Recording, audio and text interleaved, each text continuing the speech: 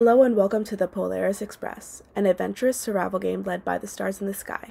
The start screen introduces the player to the game and gives the player time to prepare to survive the upcoming obstacles. The game opens with the player being spawned in the middle of a terrain surrounded by mountains, although I quickly had to move away from the middle to get away from enemies. The first person camera perspective allows the player to explore the map from a ground level view. I am currently moving around using the arrow keys, but you can also use WASD um, in order to move around the terrain. And in order to change camera perspective, you must use the mouse. When the player left clicks, you can see that a sword is being um, swung. It is your weapon, and you can use a sword to attack enemies. If you have not already noticed, one of the health bars is deteriorating. That's the health bar of hunger. Um, we are quickly approaching a sphere which represents food. Um, and this must be ran into in order to satisfy the player's hunger. And if the hunger goes down too much, then the player will die and you will have to restart the game. The next portion of the demo will approach some enemies. There are three kinds of enemies passive in white, scared in gray, and aggressive in green. Um, if you run into a passive enemy, it will ignore you, your health will be fine. The scared run away from you, again, your health will be fine. Um, the aggressive enemy comes after you, and if you run into it, you will see your health go down. I am able to spot enemies from far away because they have health bars above their heads. Now I'm demonstrating what is like running to a passive enemy. Yes, they're an obstacle, but they will not hurt you. Um, their health can deteriorate, though, if you hit them. I am approaching the scared enemy to show how we interact with one another. When I run into the scared enemy, my health is not affected, neither is theirs, because I'm not hitting them with a weapon, and they tend to run away from me and are not as annoying as an obstacle as the other two. On the other hand, the aggressive enemy follows you around the entire game. I quickly approach and run into the aggressive enemy on purpose in order to show how my health deteriorates when it hits me.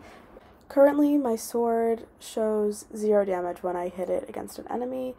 When I ran into the cylinder, I collected a dagger which will cause 10 times the damage um, when I hit it on an enemy, and when I collect a sword and craft it by pressing E, it will show 100 times the damage when I um, hit it against an enemy of any kind. Now I'm displaying what it is like hitting an enemy with the dagger.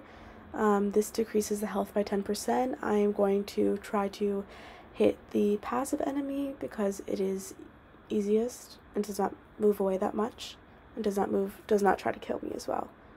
Um, you can see that the health bar goes down a little but it doesn't completely die or go away.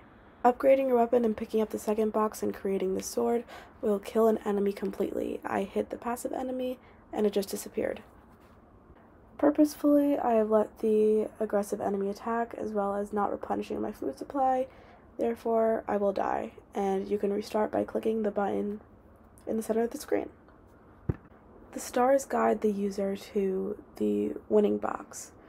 Um, and we want to walk into a diamond, aka a star, and they will guide you throughout the map to where you're supposed to be. I just ran into one and I'm looking in the sky and all around to see where I'm supposed to go next. I see this star in the sky right there and I want to approach it because I know I'm, it's leading me in the right direction.